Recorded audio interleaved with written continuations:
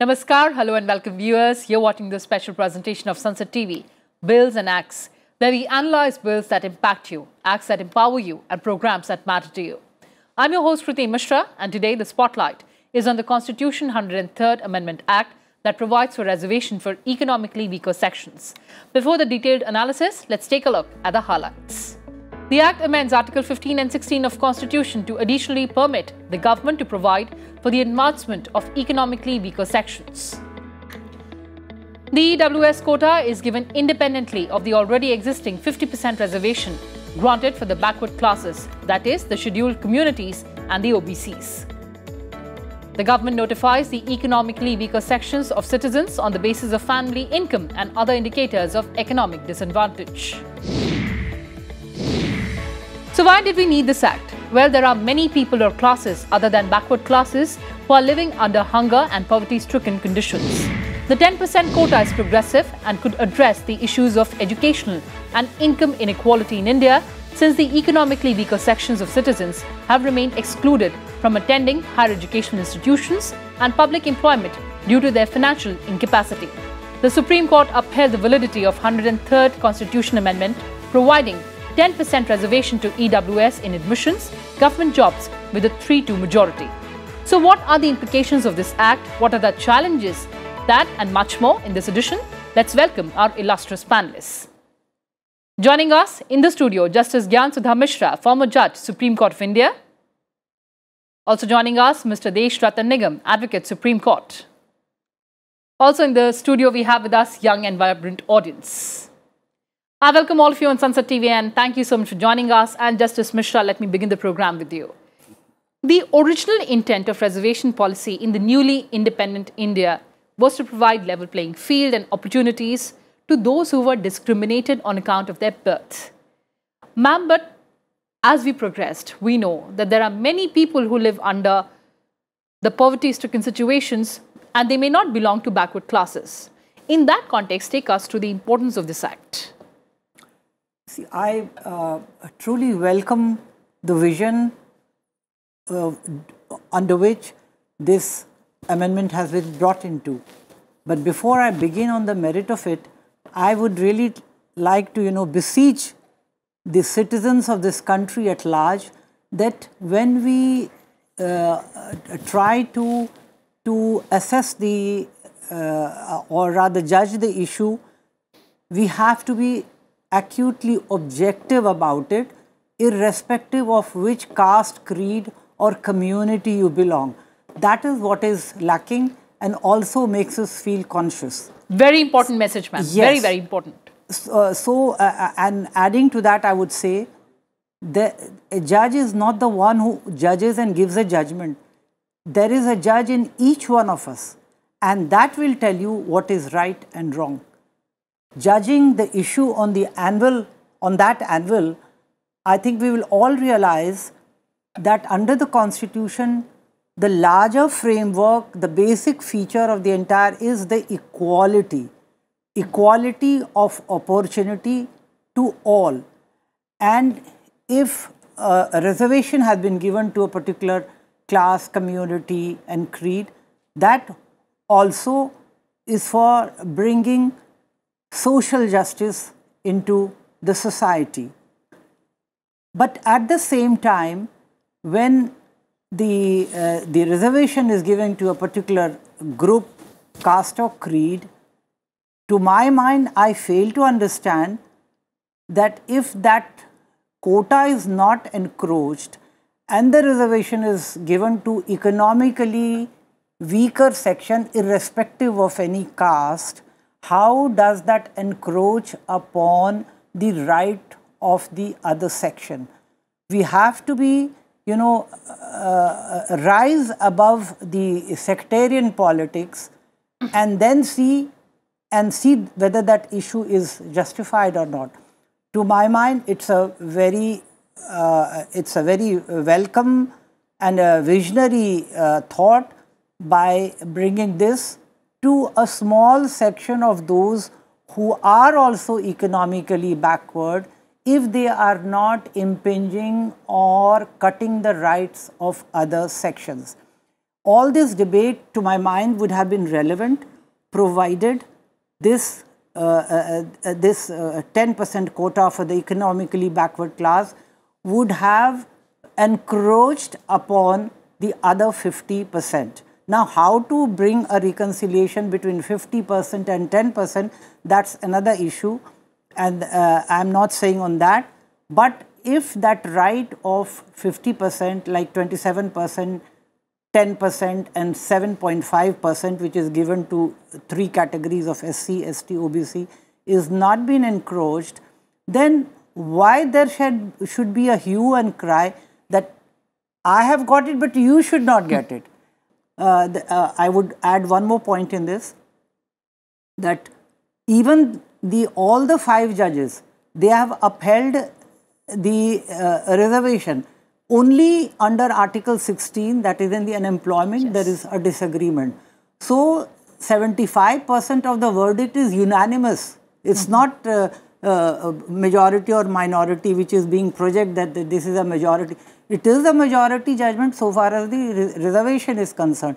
It's only in employment that there is some gray area and disagreement between 3 to five, 2.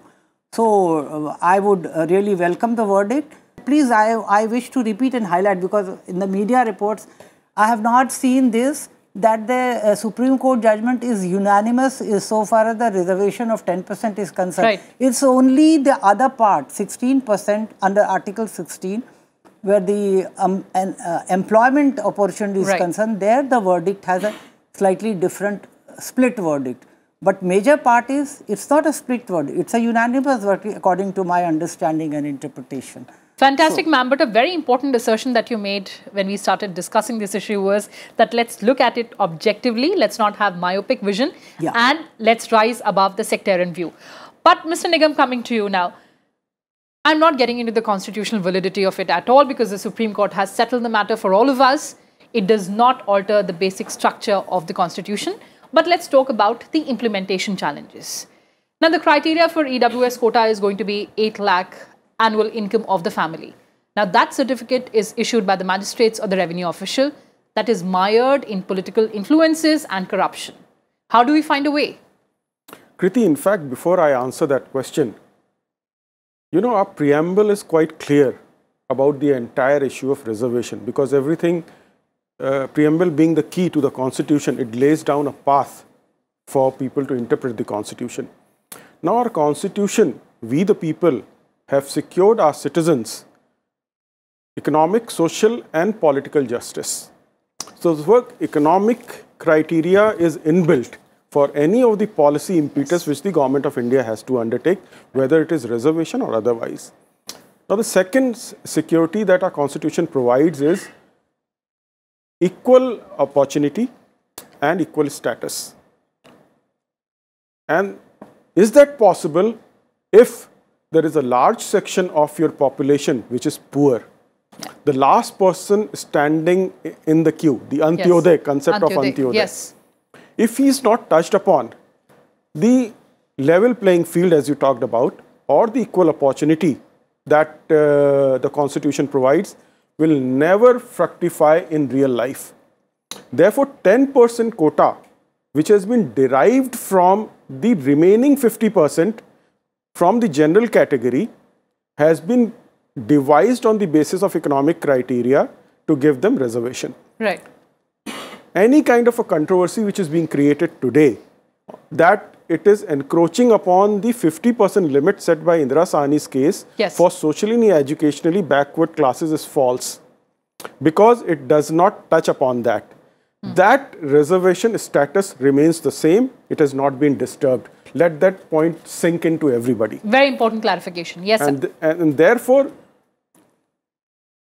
let us move forward. Objectivity actually becomes a casualty when we see things from a colored perspective or colored lenses. Absolutely. And that should never happen. And although politics in India has taken that discourse, the moment, you know, something is given to the poor of the general category, everybody starts shouting. Although, like in CAA, nobody's rights gets affected within the country. So in this case, nobody's rights are being affected whether it is socially and educationally backward classes, SCSTs or OBCs.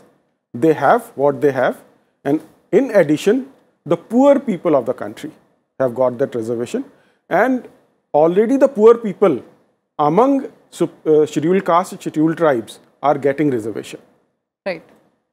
Including the backwardness criteria. In OBC, you have a creamy layer, the cutoff. Yes. Here also, that 8 lakh rupees, anybody who is below 8 lakh is covered in this. Now, the issue of implementation is very important. You know, whenever a law is made in India, whether if you take dowry laws mm -hmm. or domestic violence or uh, any other law if you take, the intention is good, the way they are framed it is good, but use also carries with itself misuse of the law. Absolutely. Any law. Any law. Yeah. And therefore, implementation will always remain an issue and enforcement becomes very important then. Here in India, because of the multiplicity of agencies, like a caste certificate will be given by a civil authority, say district magistrate, tehsildar, hmm. district collector. Revenue officials, anyone, yes sir. Verification would be done by another agency. Exactly. And the reservation will be granted by third agency. So this multiplicity may lead to problems in implementation. It has always troubled the administration as to how to get about, get over with it. Can we think of a one particular agency which does all the three works?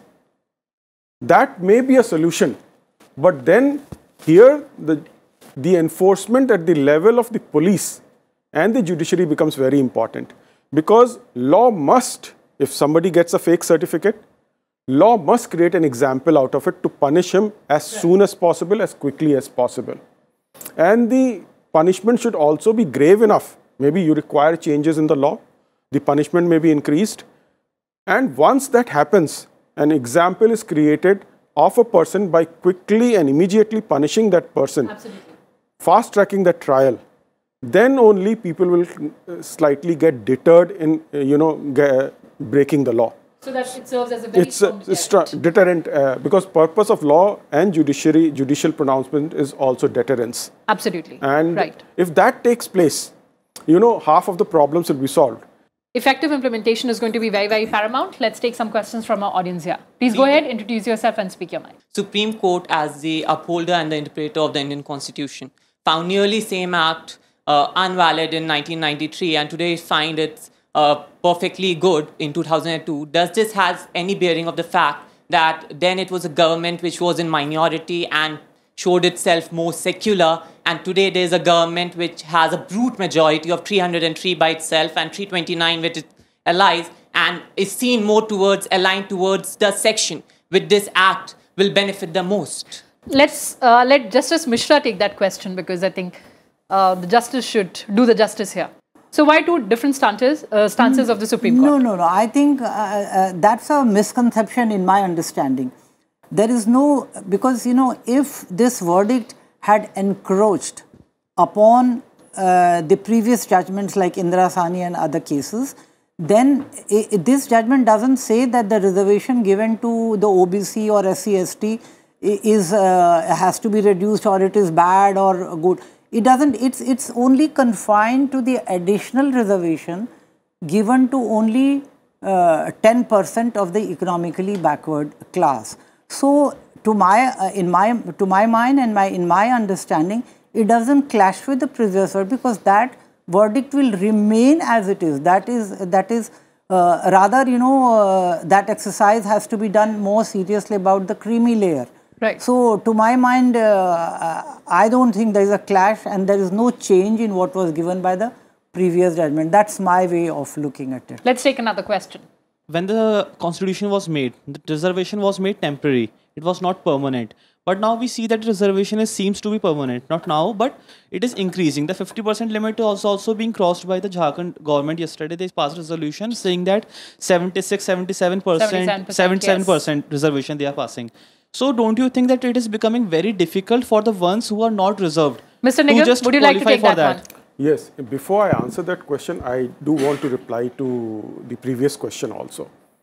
You know, in a democracy, parliamentary system, it runs on majority. So we don't use the word brute. Brute gives a very negative term to it. that reflects the will of the people. So you don't call the will of the people as brute. Please remember, it has come through a democratic process. Yeah. Now, secondly, earlier judgments uh, which were there and earlier decisions which were taken by the then governments were done, especially the state governments, others were done without making constitutional amendments. That's right. So far as economic criteria is concerned, no changes were made in Article 15, 16 of the Constitution.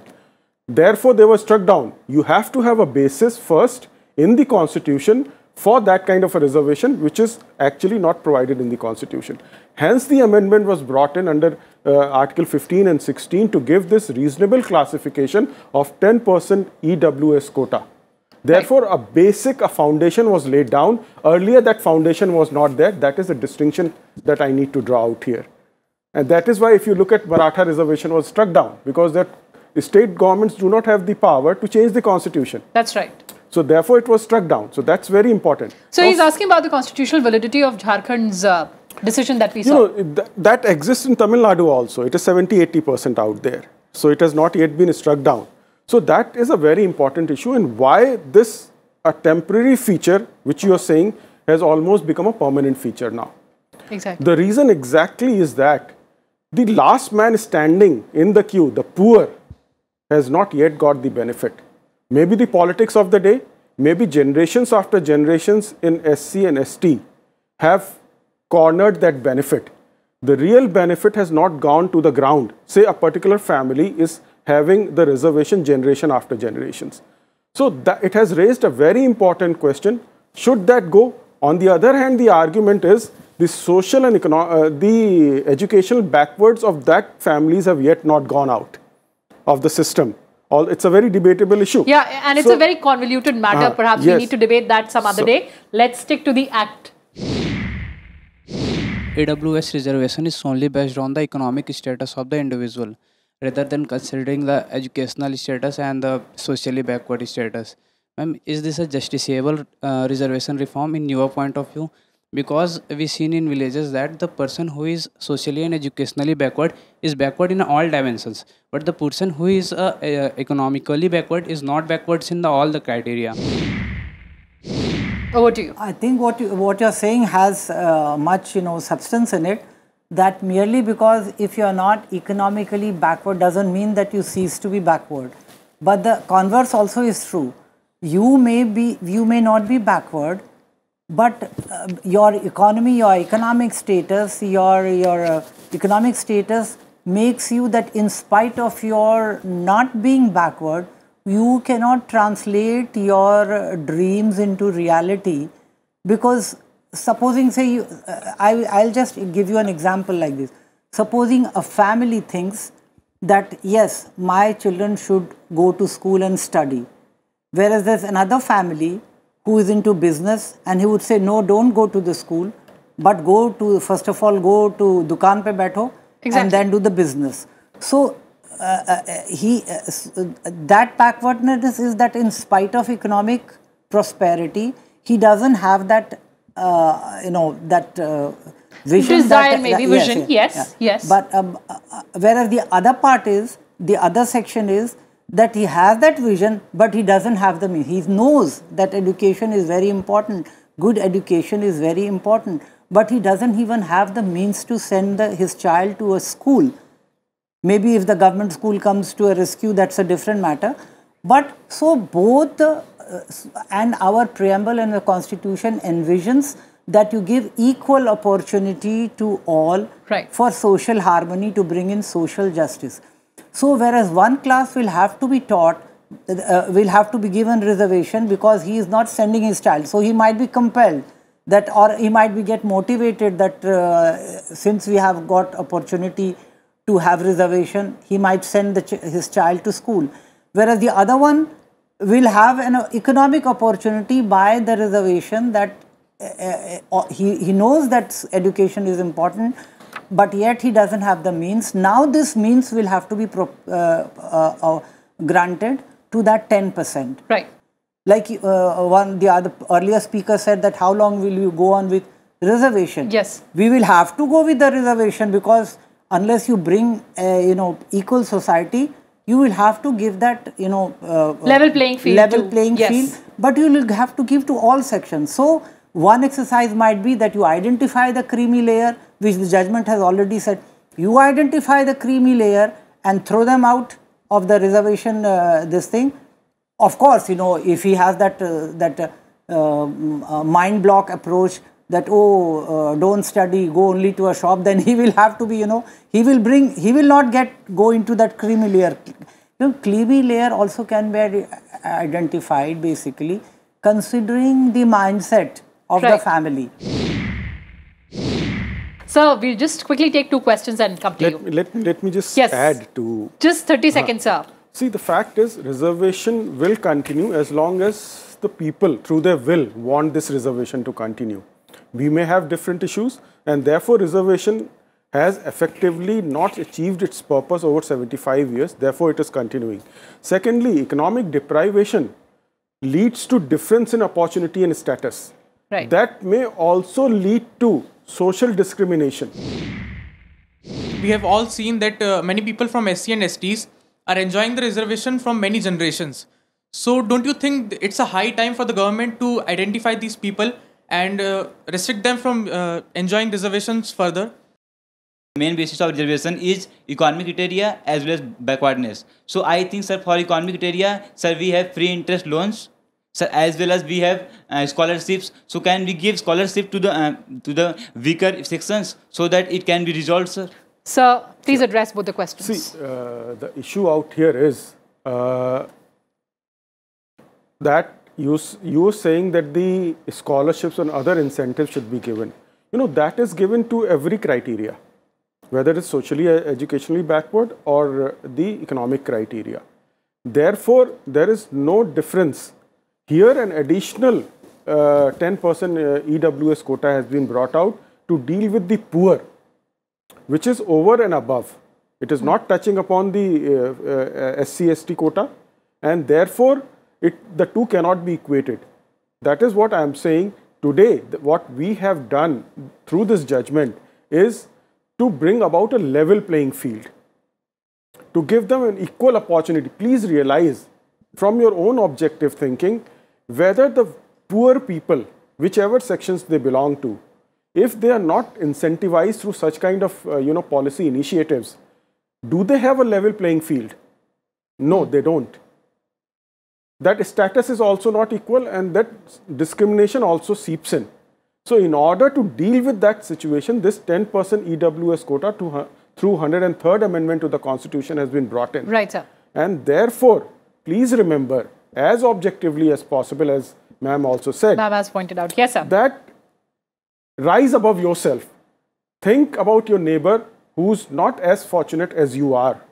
And that is where the government, without disturbing the existing system of reservation, has carved out through reasonable, reasonable classification of reservation through 10% EWS score. So I'm completely out of time. Thank you so much for giving us that perspective. And as uh, Justice Misra, you said that we have to look at the entire subject very objectively. I'm sure my audience here would do that. On that note, thank you so much for joining us, Justice Misra and Mr. Nigam. Well, viewers, that's all I could pack for you in this edition. Thanks for watching and stay tuned to Sansad TV. Namaskar.